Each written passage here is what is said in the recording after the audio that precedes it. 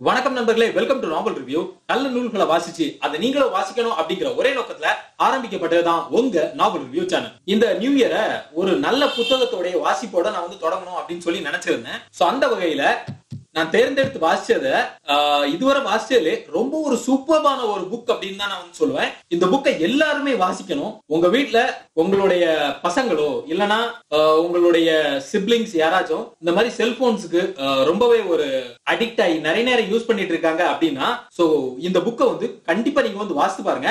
அதுல இருந்து வெளியில வர்றதுக்கு ஏகப்பட்ட டிப்ஸ் கிடைக்கும். சோ இந்த புக்குடைய டைட்டில் தான் பாத்தீங்கன்னா digital minimalism choosing focused life in a noisy world addiction அப்படிங்கிறது வந்து நம்ம வந்து போத மருந்துக்கு அப்புறம் சிகரெட் ஸோ இதுக்கு தான் அடிமையாகிறது வந்து அடிக்ஷன் அப்படின்னு சொல்லி நினைச்சிட்டு இருக்கோம் ஆனா அதை விட ரொம்ப மோசமானது தான் இந்த போன் அடிக்ஷன் ஏன்னா எப்பவுமே போன்ஸ் வந்து நம்ம கூட இருக்கும். ஸோ திடீர்னால ஏதோ ஏதோ ஒரு நோட்டிபிகேஷனுக்காக நீங்க வந்து ஓபன் பண்ணிருப்பீங்க. உங்களை அறியாமலே அதுல ஒரு 15 மினிட்ஸ் போயிருக்கும். இல்ல ரொம்ப சிம்பிளா சொல்லணும்னா ஒரு நோட்டிபிகேஷன் சவுண்ட் வருதா? உடனடியா நீங்க வந்து போனை தேடி போய் அது என்ன நோட்டிபிகேஷன் அப்படின்னு சொல்லி பார்க்கணும் அப்படிங்கிற விதமான ஒரு பதட்டமோ இல்லைன்னா ஒரு ஆன்சைட்டி உங்கள உருவாயிடுச்சு அப்படின்னாலே உங்களுக்கு போன் மீதான ஒரு அடிக்ஷன் இருக்கு. இல்ல யூ ஆர் போன் அடிக்டட் நம்ம வந்து நினைச்சிட்டு இருப்போம் ஒரு ஃபேஸ்புக்கோ இல்ல இன்ஸ்டாகிராம் ஏதோ ஒரு ஆப்புக்குள்ள நம்ம வந்து போகும்போது அதை விட்டு வெளியில வர முடியல. இல்ல நமக்கு வந்து நம்மள வந்து அப்படி ஹூக்கப் பண்ண மாதிரியே இருக்கு அப்படின்னு சொல்லி. ஆனா நிஜம் என்ன அப்படின்னு பாத்தீங்கன்னா இந்த ஆப் எல்லாமே அப்- அந்த மாதிரியான ஒரு பிரின்சிபல்ல தான் டிசைன் பண்ணிருக்காங்க சோ தட் ஒருத்த உள்ளால வந்துட்டான் அப்படின்னா he shouldn't go outside so அதுதான் வந்து அவங்களுடைய பிரின்சிபலாவே வச்சு டிசைன் பண்ணிருக்கு. ஸோ என்னைக்காச்சும் uh, நீங்க வந்து இந்த கேம் நீங்க வந்து விளையாடுறீங்க செல்போன்ல ஸோ அப்போ uh, ஒரு சின்ன ஒரு நோட்ல எப்போ நீங்க ஆரம்பிக்கிறீங்க? அந்த டைம் நோட் பண்ணிக்கோங்க. எப்போ நீங்க வந்து என் பண்றீங்க? ஸோ uh, சரி இது போதும் அப்படின்னு சொல்லி எப்போ நீங்க நோட் பண்றீங்க? ஸோ இந்த டைம் நீங்க வந்து எழு- எழுதி வச்சுக்கோங்க. ஸோ தட் அந்த ஸ்டார்ட் டைம்க்கும் என் டைம்க்கும் எவ்வளவு டைம் நீங்க வந்து அதுல ஸ்பெண்ட் பண்ணிருக்கீங்க அப்படின்னு வந்து தெரியும்.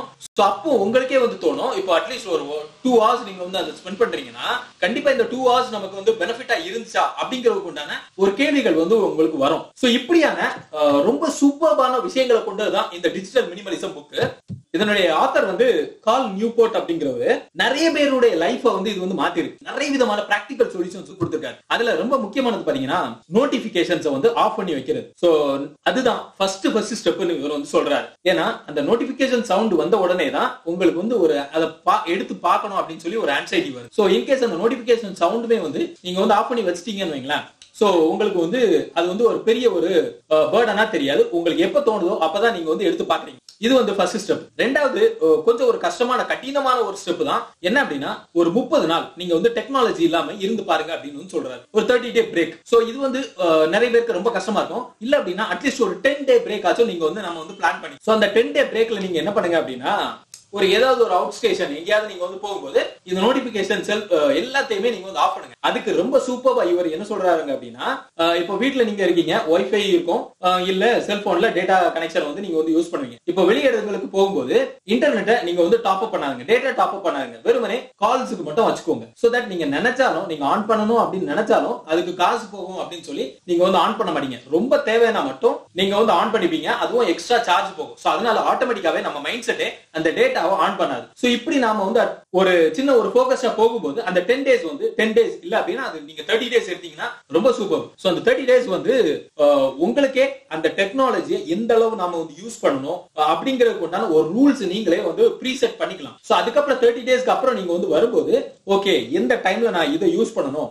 சரி இத்தனை நாள் நம்ம இதை யூஸ் பண்ணல. சோ அதனுடைய நீங்க வந்து இங்க ஒரு ஹண்ட்ரட் பர்சன்டேஜ் நீங்க வந்து அதுக்கு அடிக்ட் ஆயிருந்தீங்க அப்படின்னா இந்த தேர்ட்டி டேஸ் அப்புறம் அட்லீஸ்ட் மினிமலா ஒரு அக்செப்டபிளான ஒரு ஃபார்ட்டி பர்சன்டேஜ்க்கு வந்துவீங்க அப்படின்னு சொல்றாரு. ஆனா இது வந்து செய்யறது வந்து ரொம்ப ரொம்ப கஷ்டம். அடுத்தால என்னன்னா நீங்க வந்து நினைச்சிட்டு இருக்கீங்க சோஷியல் மீடியால நம்ம வந்து ரொம்ப கனெக்டடா இருக்கும். நமக்கு வந்து நிறைய ஃப்ரெண்ட்ஸ் இருக்காங்க அப்படின்னு சொல்லி. ஆனா அது எல்லாமே போய். அது வந்து ஒரு விர்ச்சுவலான வேர்ல்டு அவ்வளவுதானே தவிர நீங்க வந்து நினைச்சிட்டு இருக்கீங்க அது நம்மள கனெக்டடா இருக்கு அப்படின்னு சொல்லி. ஆனா அது உண்மை கிடையாது. அது நிறைய நேரம் உங்களை டிஸ்கனெக்டட் ஆகி உங்களை வந்து லோன்லியா வைக்கும். இல்ல சில போஸ்ட் பாத்தீங்கன்னா நீங்க ஹாப்பி ஆவீங்க. சில போஸ்ட் பாத்தீங்கன்னா நீங்க வந்து ரொம்ப துக்கமாயிருவீங்க.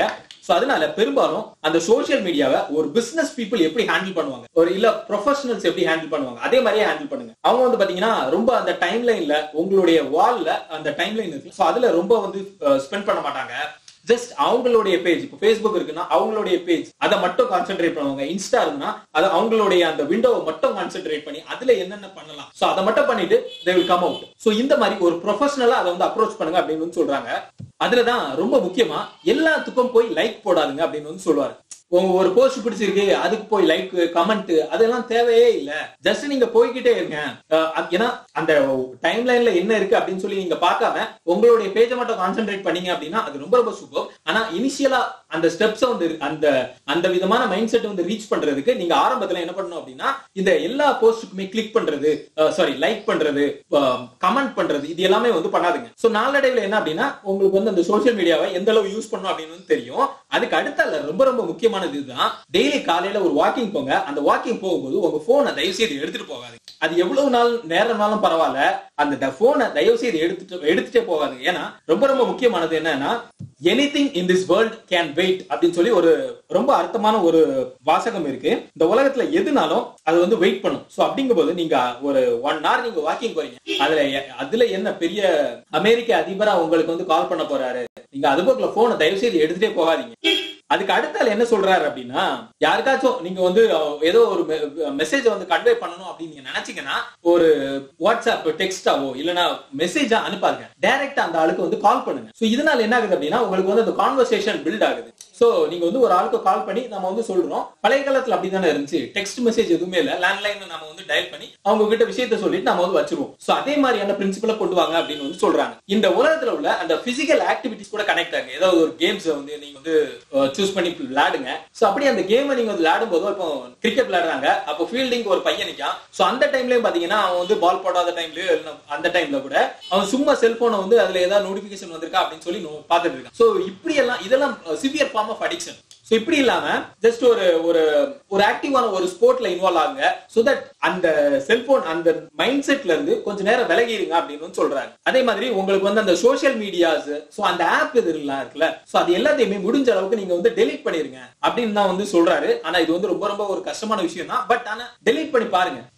இந்த சோஷியல் மீடியா இது எல்லாமே பாத்தீங்கன்னா உங்களை வந்து எப்பவுமே பரபரப்பாவே வச்சுட்டே இருக்கும். ஆனா ஒரு நிஜமான சுச்சுவேஷன் வந்து அது கிடையாது. முன்னாடி பாத்தீங்கன்னா நமக்கு வந்து நியூஸ் அப்படிங்கிறது பாத்தீங்கன்னா கரெக்டா அந்த எட்டு மணிக்கு தூர்தர்ஷன்ல ஒரு நியூஸ் இருக்கும். அதோட ஆஃப் பண்ணிட்டு அந்த மொத்த சேனலுமே வந்து இதாயிரும். அதுக்கப்புறம் எல்லாருமே நிம்மதியா தூங்கிட்டு காலையில தான் எழுந்திப்பாங்க ஆனா இப்போ பாத்தீங்கன்னா நீங்க வந்து டூ ஓ கிளாக் ஆன் பண்ணாலும் அப்பவும் பிரேக்கிங் நியூஸ் ஓடிட்டு சோ இது வந்து ஒரு நல்ல விதமான இதுவே கிடையாது. அதான் இது ஒரு வந்து சொல்லுவாரு எம்ப்ரே ஸ்லோ மீடியா அப்படின்னு சொல்லுவாங்க.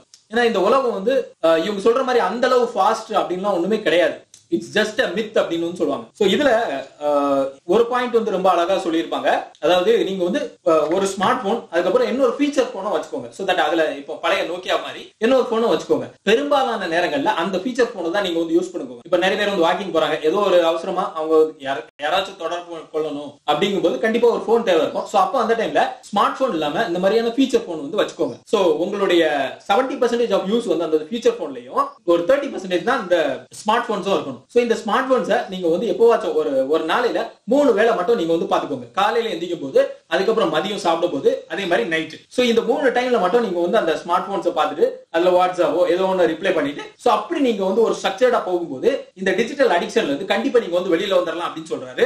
ஸோ இந்த புக்ல இதே மாதிரி ஏகப்பட்ட நிறைய நிறைய விஷயங்கள் வந்து உங்களுக்கு வந்து தெரிஞ்சிருக்கும். ஸோ நான் வாசிச்சதுல அதாவது இந்த நியூ இயர்ல ரொம்ப சூப்பரான ஒரு புக்கை நான் வந்து வாசிச்சிருக்கேன் அப்படின்னு சொல்லி ஒரு மன நிறைவோட தான் இந்த வீடியோ வந்து நான் வந்து உங்க முன்னாடி போடுறேன்.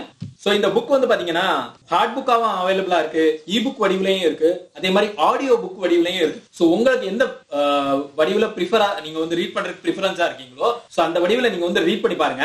கண்டிப்பா உங்களுக்கே வந்து தெரியும். நாம வந்து எவ்வளவு நேரம் நாம வந்து நம்மளுடைய ப்ரெசியஸான டைமை நம்ம வந்து விரயமாக்கிட்டு இருக்கோம் அப்படின்னு சொல்லி சோ இந்த போன் அடிக்ஷன் அப்படிங்கிறதுல இருந்து நாம வந்து ஈஸியா வெளியில வந்துடலாம் சோ இந்த இந்த புக் உண்டான ஸ்டெப்ஸ் வந்து நாம வந்து ஃபாலோ பண்ணோம் சோ கண்டிப்பா நீங்க வந்து வாசித்து பாருங்க. எல்லாருமே இந்த புக்கை கண்டிப்பா நாம வந்து வாசிக்கணும். நன்றி. அடுத்த வீடியோல வேற ஒரு சுவாரஸ்யமான புக் பத்தின தகவலோட நான் வந்து உங்களை சந்திக்கிறேன். நாவல் ரிவ்யூ சேனலுக்கு சப்ஸ்கிரைப் பண்ணாதவங்க சப்ஸ்கிரைப் பண்ணிக்கோங்க.